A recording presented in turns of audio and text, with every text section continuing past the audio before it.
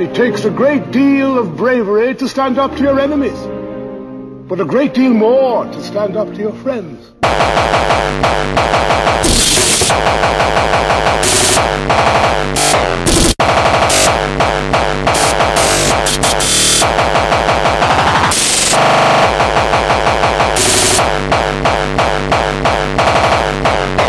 Everyone will please not